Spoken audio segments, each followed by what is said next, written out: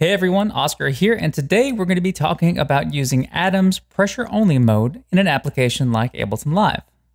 Pressure only mode lets you control different effects by applying more or less pressure to a pad. Each pad can send its own unique pressure message.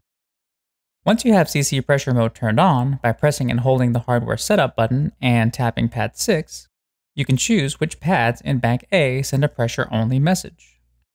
Hold down the shift button then press the Hardware Setup button to go into Advanced Setup mode. Then press the Show Hide button on the left. All the pads should be lit up red. This means that they're sending both note and pressure messages. As you tap on each pad, the red lights will shut off. Any pad that's light is off will only send a unique pressure message without sending a note message. After you press the hardware setup button again, you'll notice that the pads you changed are now a little bit more dim. This is how you know the pad is only going to send a pressure message. Now we're ready to assign this in our software. A program like Ableton Live makes it pretty easy to assign controllers. Just click on MIDI, then select the software control that you want to assign. Now press and hold one of the pads that's only sending pressure, and that's it. I've got a few macros set up already in Live that control a few effects. I have a filter assigned to pad 1, a reverb assigned to pad 2, and a delay assigned to pad 3. I also have my first four scenes mapped to pads 16, 12, 8, and 4.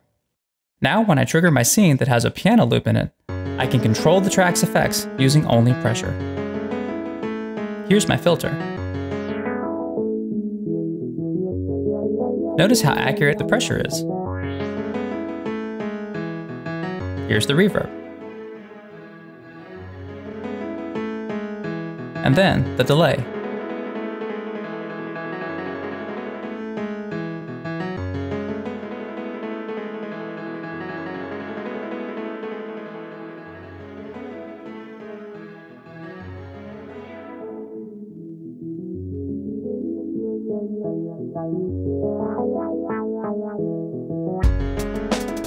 Easy as that.